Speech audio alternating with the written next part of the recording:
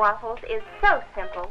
One waffle iron, two cups of milk, and three fresh eggs. Mm-hmm.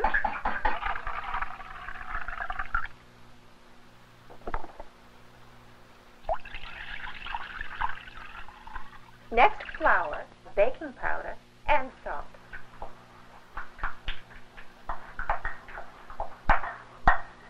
Be sure to get the little lumps out. Yes, indeed. Even a child can do it.